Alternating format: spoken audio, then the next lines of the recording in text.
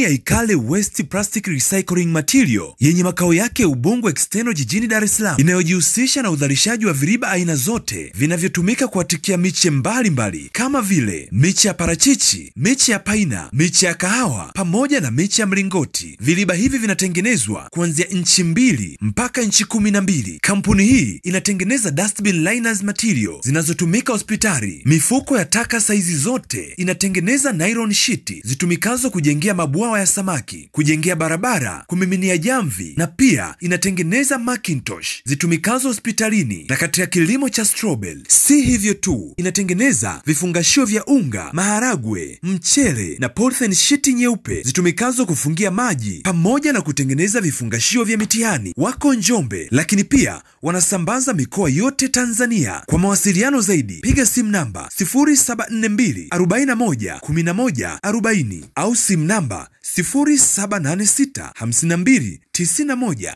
80 au simu namba 0715 52 91 80 au 0621 09 56 36. Nyote mnakaribishwa. Mtazamaji wa Digital News Tanzania, kama ambavyo umekuwa ukifahamu kwamba kanisa Katoliki jimbo la Njombe ilikuwa chini ya askofu msimamizi ama askofu mwangalizi, Askofu John Ndimbo kutoka jimbo la Mbinga katika mkoa wa Ruvuma.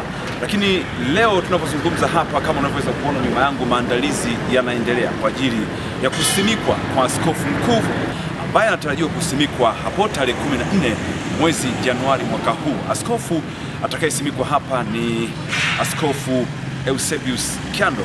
Ndivyo ambavyo waamini wengi wa kanisa la Roman Catholic mkoa wa Njombe pengine wamejawa na hamu kubwa ya kumpokea askofu mpya mteule, lakini pia pengine wanatarajia makubwa kwa askofu huyu. Leo Digital News tumefika hapa kuweza kuangazia maandalizi mengi zaidi ambayo yanaendelea hapa katika makao makuu ya jimbo Katoliki Njombe. Tumezungumza na Father Laurelian Kayombo, tumefanya naye mahojiano maalum, hasa akitueleza ni kwa jinsi gani shughuli ya kumsimika askofu mpya wa kanisa la Roman Catholic hapa itakavyoenda hapo kuanzia tarehe kumi na tatu lakini pia kuanzia mpaka tarehe kumi na nne yenyewe siku maalum ya kusimikwa kwa baba askofu.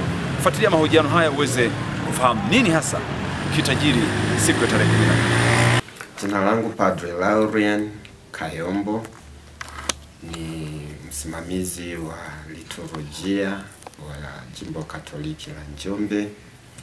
E, katika sherehe hii ambayo itaanza rasmi tarehe kumi na tatu mwezi Januari mwaka ishirini ishirini na nne na tarehe kumi na nne mwezi huo huo Januari ishirini ishirini na nne kwa ajili ya kumweka wakfu na kumsimika askofu wa tatu wa jimbo Katoliki la Njombe kwa jina Eusebio Samuel Kyando. Kinachoendelea sasa ni maandalizi ya eneo la ibada, maandalizi ya kuwapokea wageni, maandalizi ya sherehe yenyewe yote katika maana ya e, chakula, vinywaji vitapatikana wapi, mapambo, kupamba eneo la sherehe. Kwa hiyo haya ndio yanayoendelea kwa sasa. Tukio lenyewe ni la kikanisa zaidi. Kwa hiyo hatua ya kwanza itakuwa tarehe kumi na tatu e, Januari ishirini ishirini na nne.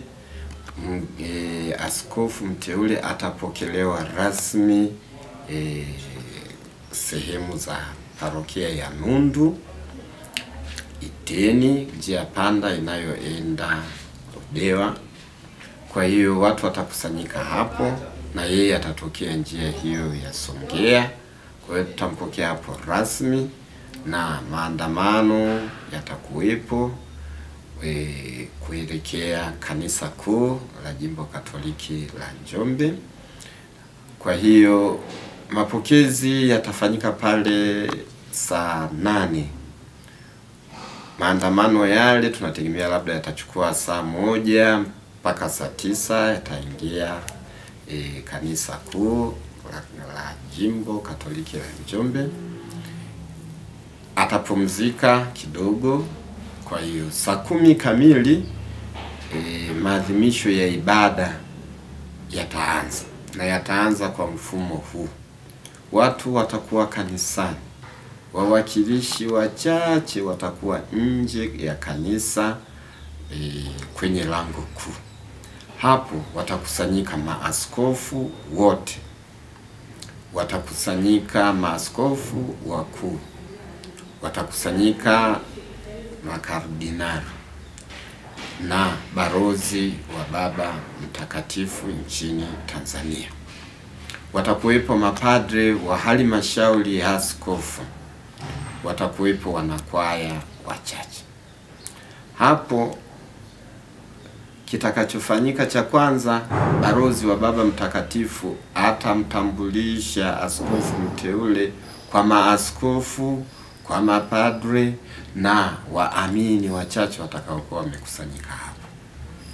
Baada ya tukio hili la kutambulishwa, hati ya Baba Mtakatifu ya uteuzi wa askofu huyu itatolewa, itaonyeshwa kwa maaskofu wote, itaonyeshwa kwa mapadre wa jimbo Katoliki la Njombe.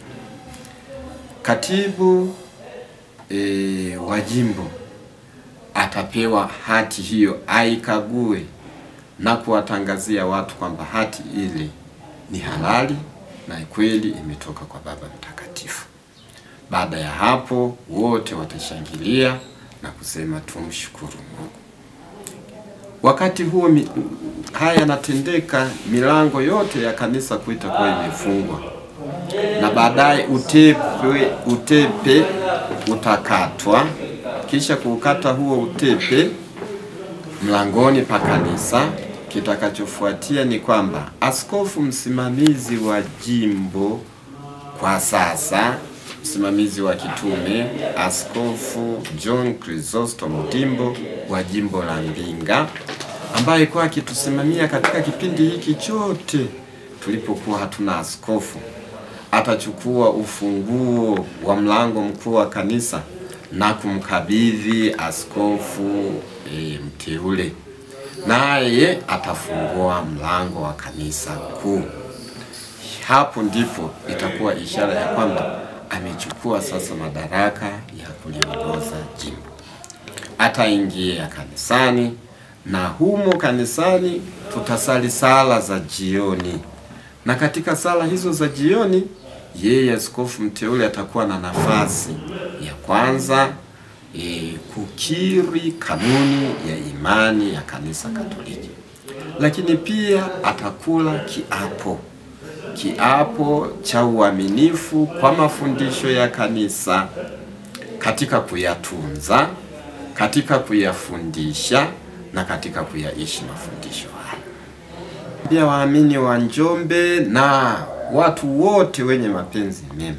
Wakusanyike kwa wingi katika nafasi hizo zote mbili, katika kumpokea kule Nundu na maandamano ya kuja hapa kanisa kuu, lakini pia katika kushiriki tukio lenyewe lote la kuwekwa wakfu tarehe ile kumi na nne mwezi wa kwanza ishirini ishirini na nne ambapo misa itaanza saa nne kamili asubuhi.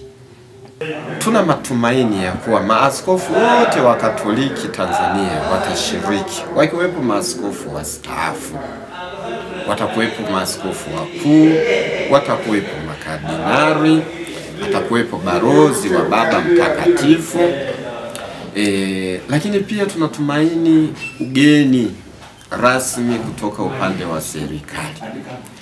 Sasa serikali itapanga kumleta nani, hiyo siwezi kujua, lakini sisi tulipeleka mwaliko kwa serikali kwa nia hiyo ya mgeni rasmi atoke serikalini awe pamoja nasi katika tukio hilo kubwa. You are watching Digital News Tanzania.